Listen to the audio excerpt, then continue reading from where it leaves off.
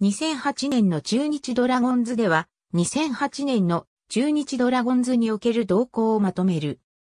この年の中日ドラゴンズは、落合博光監督の5年目のシーズンである。前年にいながらも1954年以来53年ぶり、そして名古屋ドーム移転後初の日本一を勝ち取ったチームは落合監督の悲願である完全優勝を達成すべく4月を16勝9敗2分で勝ち越す好スタート。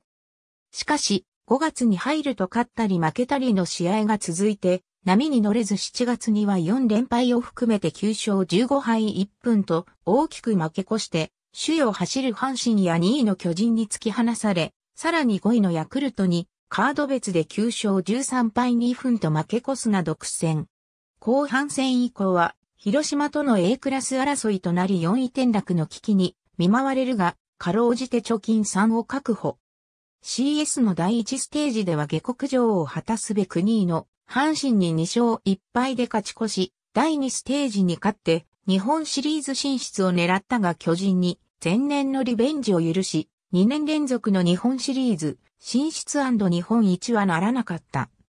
投手陣は前年不振の山本正が11勝、吉見和樹が10勝と2桁勝利を2人出し、川上健信が9勝、小笠原隆が8勝と先発陣が活躍したものの、規定投球回到達者はゼロに終わった。打撃陣は大リーグ移籍の福留康介の穴を同じく西部から移籍の和田和弘が埋め、タイロン・ウッズなどもそれなりの成績を残し、チーム本塁打はリーグ3位の140本を記録するも、併殺打などが多く目立った。